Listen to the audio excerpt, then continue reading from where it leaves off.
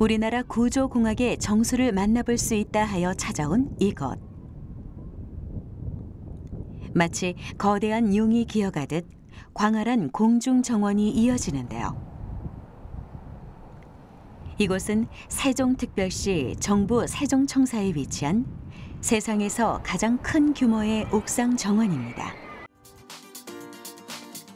총 15개의 다리로 연결돼 단절된 구간 없이 하나의 거대한 정원을 이룬 옥상.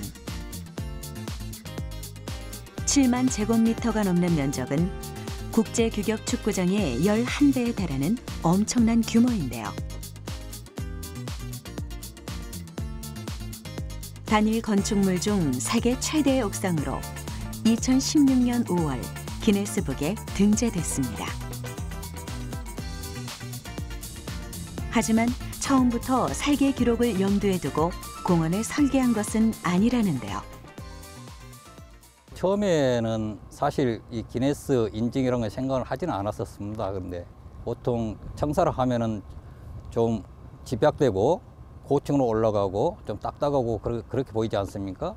세종 청사는 낮게 자연과 친화적인 그런 분위기를 조성하기 위해서 그냥 낮, 낮고 평평하게 어, 어, 건물 지었는데 옥상에 적용을 하다 보니까 아, 세계 이런 건물이 이런 면적의 옥상 정원이 있나 저희들 한번 살펴보게 계기가 되었었죠.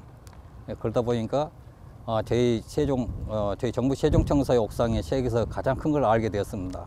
그래서 기록 인증에 도전하게 되었습니다.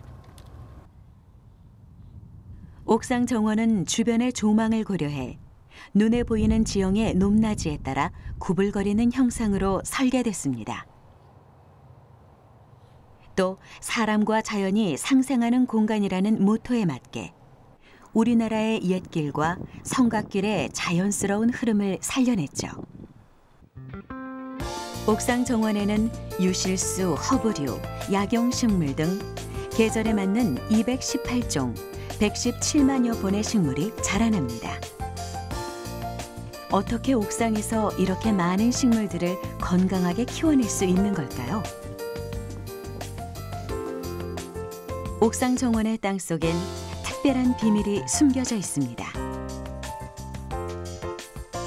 특수 공법을 활용해 옥상 정원 토양의 깊이를 최대 1.5m까지 유지한 건데요. 이로써 다양한 식물들이 땅에서 자라는 것처럼 단단히 뿌리 내려 생태계를 구현한 거죠.